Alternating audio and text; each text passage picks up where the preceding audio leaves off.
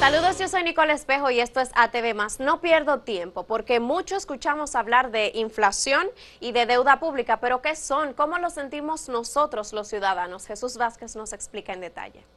En muchos países es común escuchar a las personas quejarse por el alto costo de la vida, ya sea al entrar a un supermercado para comprar sus alimentos o al momento de adquirir algún tipo de servicio. Esta realidad normalmente se encuentra ligada a factores macroeconómicos que inciden en la cotidianidad de las personas y por eso hablaremos de dos variables que son muy mencionadas en la actualidad para referirse a la situación económica de un país. En primer lugar está la inflación. Cuando las cosas aumentan de valor es común escuchar este término, pero ¿qué es la inflación? La palabra se refiere a un aumento generalizado en los precios de los bienes y servicios de una economía durante un periodo de tiempo. La inflación se conoce como el incremento sostenido de los precios, un incremento generalizado de los precios de bienes y servicios. Se dice que las consecuencias de la inflación pueden ser en algunos casos positivas y en otros negativas. Por ejemplo, con el alza en los precios se puede reducir el valor de las deudas. Esto se debe a que si hay inflación en una economía, aunque los salarios suben al mismo ritmo, la deuda sigue siendo la misma que antes, o sea que el valor real de la deuda será menor que antes de que subieran los precios. Si la subida de los salarios no es por lo menos igual a la subida que hay en los precios, el poder adquisitivo bajará. Para entenderlo de alguna manera, imagínate que en tu trabajo te aumentan el sueldo en un 10% el último año. Sin embargo, la inflación ha sido de un 20% en este mismo lapso de tiempo. Esto significa que aunque hayan aumentado tus ingresos, puedes comprar un 10% menos con ese mismo salario. La inflación provoca que el dinero pierda valor, por lo que motivará a consumir y gastar el dinero en vez de ahorrarlo, ya que si el dinero va a valer menos en el futuro, los ciudadanos e inversores prefieren gastarlo ahora.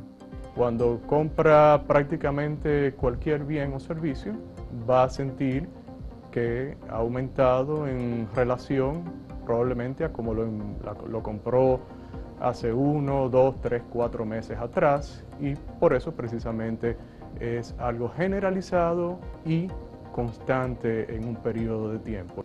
Según el porcentaje de aumento se puede hablar de deflación, es decir, cuando los precios en lugar de subir bajan. Inflación moderada, cuando la subida de los precios no alcanza el 10% anual inflación galopante, que se da en el caso de que existan inflaciones de dos o tres dígitos, y la hiperinflación, que se refiere a aumentos de los precios que superan el 1000% en un año. La inflación es esencialmente un fenómeno monetario. El dinero pierde su valor en comparación con los bienes que puede comprar. Pero en realidad, tú tienes, porque tú tienes más dinero buscando, en términos llanos, esa misma cantidad de bienes. Para entender por qué se produce la inflación, clasificaremos sus causas en dos categorías, inflación por demanda e inflación por oferta. Inflación por demanda se refiere a que los precios de los bienes y servicios aumenten en la medida en que las personas están dispuestas a adquirirlos. Una manera sencilla de comprender por qué pueden subir los precios cuando hay una demanda es pensar lo que sucede en una subasta. Se ofrece un producto que es de interés para los participantes y según el deseo que va mostrando, el precio va aumentando hasta ser adjudicado o vendido a aquel comprador que está dispuesto a pagar el precio más alto. Lo mismo sucede en algunas situaciones o épocas del año donde el vendedor sabe que puede subir estratégicamente el precio de sus productos para ganar más dinero. La inflación por oferta es el aumento o disminución que pueden tener los bienes y servicios debido a la cantidad que existe de estos en el mercado. Imagina que debido a algún fenómeno climático como sequías o heladas hay escasez de alimentos sin que haya suficientes productos para todos, esto motivará a los vendedores a aumentar los precios para sacarle el mayor provecho al desabastecimiento de alimentos. Por otro lado está el concepto de deuda pública, el cual corresponde a las obligaciones financieras contraídas por el gobierno a través de las cuales se compromete a pagar intereses y préstamos. La deuda pública no es más que los pasivos, o sea, aquellos compromisos que toma el Estado dominicano con acreedores. Al 30 de abril de 2020, el saldo de la deuda externa e interna del sector público no financiero totalizó 50.384 millones de dólares, representando el 47.1% del Producto Interno Bruto estimado.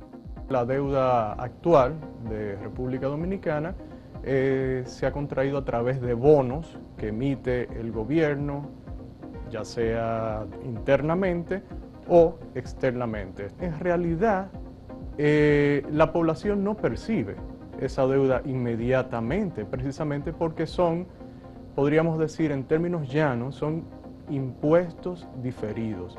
Son impuestos que vamos a pagar los ciudadanos, pero en un plazo de tiempo determinado. La deuda se puede clasificar por fuente de deuda externa e interna, por tipo de acreedor, multilateral, bilateral, bonos, banca comercial y suplidores, por tipo de interés, fija, flotante, indexada, por tipo de moneda, local y extranjera, por plazo, corto, mediano y largo plazo. La deuda pública aumenta por mayor gasto, esencia. Tú tienes un nivel de recaudaciones, de ingresos, que el gobierno le cobra a los ciudadanos a través de los impuestos, y bueno, si gasta más de lo que estás recaudando, pues lo va a financiar en consecuencia con la deuda pública. Lo preocupante en sí es qué cantidad de recursos tú tienes para cubrir esa deuda. Cuando tú tienes por encima del 20%, en ocasiones 24%, es decir, estamos hablando de un quinto, de un cuarto casi, de esos ingresos tributarios, ya es una preocupación. Es decir, si de cada 100 pesos necesitas 20, 22, 24 de lo que recaudas para únicamente pagar tus intereses de la deuda, bueno, eso es motivo de preocupación. El vicepresidente ejecutivo del Centro Regional de Estrategias Económicas Sociales, Miguel Collado, explica que si no se toman medidas rígidas, la deuda pública será más difícil de pagar. Lo que te dice la historia no necesariamente podemos extrapolarlo, llevarlo hacia el futuro, cuando antes no teníamos ese peso sobre los ingresos tributarios que acabo de mencionar. Y ahora que están subiendo los tipos de interés a nivel mundial, porque el principal banco central del mundo, que es la Reserva Federal de Estados Unidos, está empezando a subir sus tasas de política monetaria, bueno, pues países como nosotros se nos va a hacer más difícil pagar nuevos empréstitos. Collado establece que a pesar de que estas variables inciden en la economía de una nación, no se relacionan entre sí necesariamente no hay una conexión directa entre los mismos. La deuda se usa para financiar el, gasto. La inflación en un momento sí pudiera ser un, recurso para los gobiernos cubrir el gasto excedente que no lo cubren ni con impuestos ni con la deuda. Eh, es el caso de Estados Unidos, por ejemplo. Pero no, no son términos relacionados necesariamente. Ahora mismo estamos pagando los intereses que, como te decía, consumen alrededor entre 20 y 24% de tus ingresos tributarios. Y eso es mucho. ¿Cómo el ciudadano común puede mitigar las consecuencias del incremento o la disminución de estas variables? ¿Existe alguna manera en la que podamos enfrentar esta situación? A veces no hay mucho, muchas opciones, eh, lamentablemente. Eh, la idea sería que las autoridades, eh, con los mecanismos que tienen de poder, eh, bueno, primero las autoridades monetarias, ir reduciendo la liquidez para que haya una cantidad menos excesiva de dinero y por tanto incida menos en la inflación y las autoridades del gobierno central poder en realidad eh, crear condiciones en la economía que tengamos menos costos internos. Pero como individuos te diría que ser prudentes en, el gasto eh, del hogar eh, y, buscar alternativas tal vez de ingresos, porque lamentablemente no hay mucho que uno pueda controlar en ese sentido. Llevar una autogestión financiera responsable, ser prudente a la hora de gastar, ahorrar y buscar alternativas de ingreso son las formas en las que podemos lidiar con estas constantes situaciones que pueden incidir en los bolsillos de la gente y se hacen evidentes cuando entramos al supermercado o solicitamos un servicio.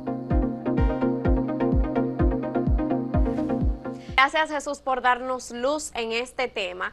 Y luego de la pausa hablamos de otro tema que también es de interés ciudadano. Estará con nosotros la jueza Giselle Méndez.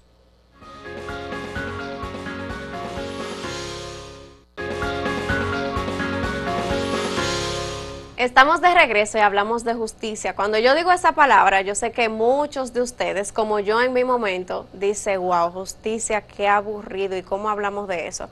Pero la persona que me acompaña hoy es una, y ella no lo sabe o no lo sabía hasta ahora, es una de las que hizo que yo pensara de la justicia de manera diferente. Wow. Sí, magistrada Giselle Méndez, bienvenida. Ay, muchísimas gracias por esas palabras y por esta invitación a hablar de algo tan hermoso como la justicia. Yo me llevo la impresión también de que usted entiende la justicia como algo hermoso, porque la conocí en un taller de proceso penal que organizó el Poder Judicial para periodistas hace ya varios años.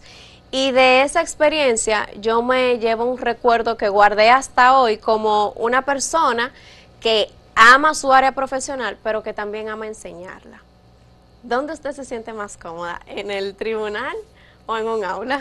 La verdad es que amo el tribunal por lo que implica para la sociedad, pero transmitir lo que es la justicia y los roles que se desenvuelven en la justicia, para mí también que es una función muy importante y lo disfruto como tú no te imaginas, porque eso nos permite colocar a cada persona, a cada ciudadano, en contexto de qué es lo que debe saber, de cómo funciona todo este aparato para poder ejercitar cuando lo necesita los derechos que tiene, ya sea de un lado sea del otro.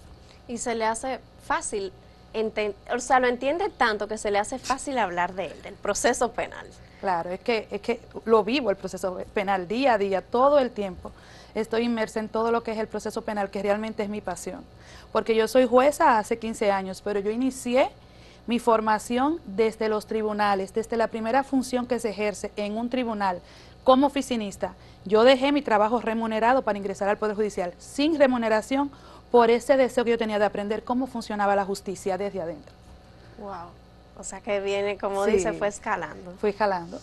Eh, hoy, si nosotros nos vamos al grano y tratamos como de aterrizar un poquito todo eso del sistema eh, de justicia en el país, si yo como ciudadana quiero saber cómo funciona el sistema de justicia, cuáles, cuáles son las bases que debo entender y manejar así como por pinceladas, como decimos. Lo primero que tengo que saber como ciudadano es qué es la justicia, es un servicio, o sea, el Poder Judicial sirve a la ciudadanía, a los ciudadanos, ¿para qué? Para tutelar derechos, para garantizar derechos. Entonces, toda persona, lo dice nuestra Constitución, tiene un derecho a ejercer sus derechos. Y a recibir tutela judicial efectiva, que en caso de algún conflicto tenga donde acceder, acceder a un tribunal para que un juez, desde la posición de imparcialidad como un tercero, dirime ese conflicto y aquí le dé a cada quien lo que le corresponde. Entonces, lo primero que yo tengo que saber es que la justicia es un servicio al que yo puedo acceder cuando yo necesito que se intervenga para que se me tutele a mí un derecho como ciudadano, como persona física, como persona jurídica, en cualquier contexto o en cualquier área de las interacciones sociales, no solo en materia penal. Yo creo que eso de la tutela judicial efectiva es algo que nosotros no siempre, como que entendemos a conveniencia.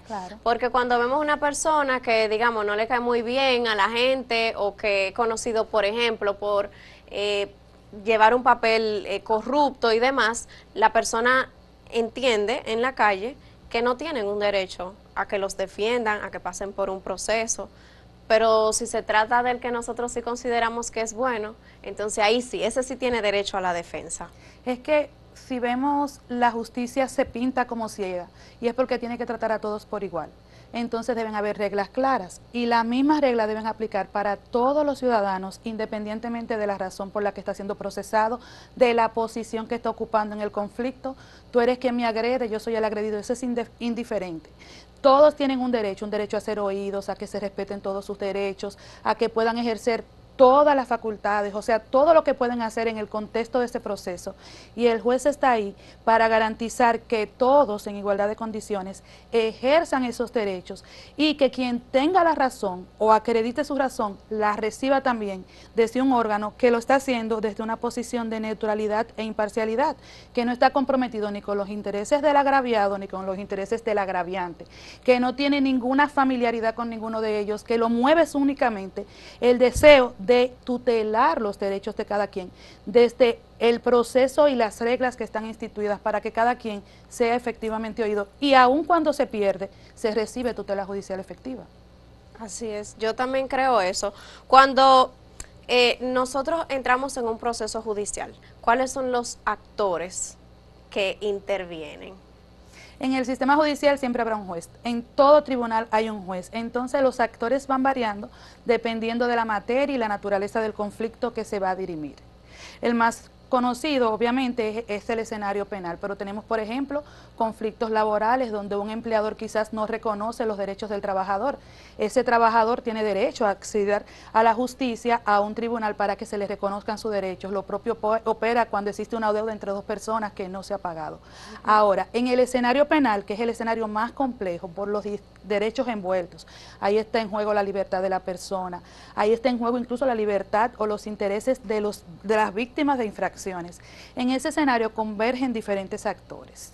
Todo inicia por un actor que es el Ministerio Público, que es el que representa a la sociedad, que representa a ese ciudadano, la persona donde ese ciudadano que está afectado acude a reclamar que lo escuchen y que lo defiendan. Esa persona va al Ministerio Público y él constitucionalmente tiene una obligación de verificar, de investigar ese caso y de promover la acción si corresponde entonces esa acción obviamente se va a dirigir en contra de una persona específica que pasa a ser el imputado. Y ese imputado igualmente tiene derecho a que en todo momento lo asista un abogado que defienda a nivel legal y técnico sus intereses y sus derechos. Entonces ya tenemos a un primer actor que es la parte acusadora, Ministerio Público y Ciudadano Víctima, y a un imputado que es asistido de su defensa contra quien se dirige esa acusación y quien se defiende. En el centro está el juez y el juez funge como un árbitro. Es el que está escuchando a todas las partes, está verificando que cada una de las partes tenga acceso a lo que necesita, que ejerza todo lo que tiene que ejercer efectivamente y que luego va a decidir quién tiene la razón. Si procede a dictar una sentencia condenatoria en el contexto de un proceso penal, si fue debidamente acreditado a nivel probatorio, o si por el contrario no existe la posibilidad de dictar una sentencia condenatoria. Eso lo decide el juez, que es un árbitro, un tercero que no está vinculado con nada de lo que está pasando ni con los intereses de los involucrados. Y el mejor símil es ese, un árbitro entre dos jugadores, dos boxeadores que están aquí, dejándolo todo en el ring, que es el, que es el estrado, el tribunal. Magistrada, si ya que vamos como entrando en materia directamente, si yo como ciudadana, por ejemplo, voy a poner un escenario, a mí me roban algo, a mí mm, me ocurre algo que yo quiero llevar a la justicia, ¿qué es lo primero, lo segundo, lo tercero que yo tengo que hacer? Yo creo que muchas veces el dominicano se exime de acudir a la justicia porque no sabe ni siquiera, primero, que puede hacerlo, segundo, cómo hacerlo. Entonces yo creo que ya comenzamos con eso de que el ciudadano se dirige al Ministerio Público y después bueno, lo primero es poner al Ministerio Público en conocimiento de lo que le ha pasado para que se inicie una investigación. Que le provea ese Ministerio Público de cualquier elemento que tenga, porque muchas veces sabe quién fue la persona, tiene elementos, tiene evidencias que pueden ayudar al Ministerio Público a la investigación. Entonces, de entrada ya el Ministerio Público es su voz y él como ciudadano, víctima de un hecho, no tiene que hacer nada más, sino ayudar al Ministerio Público y ponerlo en conocimiento. Pero también él tiene derechos. Él puede asumir un papel activo en ese proceso. Y él puede igualmente designar un abogado que lo asista y asumir ese mismo rol del Ministerio Público como querellante. Entonces, si se constituye en querellante, a través de un abogado, él puede proponer diligencias, puede acusar, puede solicitar medidas independientemente de, que de lo que haga el Ministerio Público e incluso puede solicitar penas distintas a las que pide el Ministerio Público. Ok, vamos a ver. Dígase que en un caso en el que la víctima fui yo sí. y yo acudí al Ministerio Público, si yo decido que me asista un abogado privado que yo voy a pagar, como quiera el Ministerio Público sigue acompañándome en ese proceso. Tiene la obligación de hacerlo. Y serían dos querellantes y un acusado. No, sería el Ministerio Público, un querellante y el acusado. Y se pueden aplicar penas por cada uno. Dígase, por el Ministerio Público se podría pedir una pena y por parte del querellante Vamos a ponerlo así. Si yo digo que yo voy a venir y voy a dejar al Ministerio Público, el Ministerio Público es mi voz y el Ministerio Público me va a defender y él es que va a pedir lo que él entiende que yo necesito y que yo quiero y él es que va a promover esa acción en el contexto en el que él entiende que es lo que se adecua a la realidad del caso. Ahora yo puedo también tener una voz propia ¿Y cuál sería mi voz? Constituyéndome en querellante, yo puedo, conjuntamente con el Ministerio Público, también pedir y asumir también ese papel activo en la prosecución de ese proceso. Entonces ya el Ministerio Público puede entender que en este caso la pena idónea son dos años. Y si yo entiendo que la pena que se corresponde, que es proporcional en atención a lo que ha acontecido, son cinco años, yo lo puedo pedir a través de mi abogado una vez me constituyen querellante. Ya entiendo. Y el, si ya cuando yo me constituyo en querellante, yo pago este, esta defensa. Ahora, si yo soy una persona de escasos recursos o por la razón que sea, solamente decidí eh, tener esa representación del Ministerio Público, ¿quién cubre los servicios? No, el Estado, la sociedad, pero importante. Si yo soy una persona víctima de escasos recursos, existen oficinas de servicios y representación de los derechos de las víctimas. Por ejemplo, en el Palacio de Justicia de Ciudad Nueva incluso existe una oficina que asiste a todas esas víctimas que quieren asumir un papel activo y no tienen recursos. Y esa oficina incluso depende del Ministerio Público para no cerrarle la brecha a aquella persona que no tiene condiciones económicas para costear un abogado, de que pueda ejercer plenamente y en todo el contexto y extensión que desea sus derechos, porque la víctima no solo puede constituirse en querellante, puede igualmente reclamar que se repare económicamente el perjuicio que se le ha ocasionado. Hay un, principio legal establecido en el Código Civil que todo el que causa a otro un daño tiene que repararlo. Entonces esa víctima puede igualmente reclamar en el contexto de ese proceso la reclamación de ese daño y también lo hace a través de un abogado, ahora constituyéndose en actor civil. Entonces, esa posibilidad también se le provee a esas personas de escasos recursos a través de ese Departamento de Representación Legal de los Derechos de las Víctimas que litiga frecuente y constantemente en todos los tribunales del país asistiendo a ese tipo de víctimas. Dígase que a través del Ministerio Público el ciudadano igual es guiado hacia esos demás espacios en los que se puede constituir en otros agentes que intervienen en el proceso judicial. Claro que sí. ¿cuánto tiempo podría yo durar en pasar entre una cosa y otra? Porque eso, yo sé que la mora judicial es uno de los eh, de las piedras en el camino que tiene el sistema de justicia y ha sido resaltado por la misma Suprema Corte de Justicia en el momento necesario. Eh, ¿cómo, cómo, ¿Cómo fluye todo eso? O sea, después de que yo voy al Ministerio Público, ¿cuánto tiempo podría tardar yo en recibir otro tipo de ayuda. Hay plazos, o sea, hay plazos establecidos. El proceso tiene reglas y todas esas reglas están escritas en el código. Todo se desarrolla en plazos preestablecidos. Por ejemplo, cuando un ciudadano escucha ah, que se puso una denuncia, lo arrestaron, en 48 horas está ante un juez, el juez decide si debe colocar prisión preventiva o puede mantenerse o continuar el proceso en libertad. A partir de ahí se habilitan nuevos plazos, dependiendo de la medida, tres meses para la investigación, si está en libertad, seis meses. Luego se habilitan nuevas etapas supeditadas a nuevos plazos. O sea, el proceso está estipulado y cronometrado de forma escrita para que se agoten en un tiempo establecido. No se agotan plenamente todos los plazos necesariamente, incluso el Poder Judicial como parte de sus ejes estratégicos, ha iniciado e implementado un programa de justicia al día para garantizar la dignidad de las personas. ¿Y a qué es que se apunta? Amor a cero, a cumplimiento y apego irrestricto a los plazos procesales, porque se garantizan derechos cuando tú recibes una respuesta pronta y oportuna.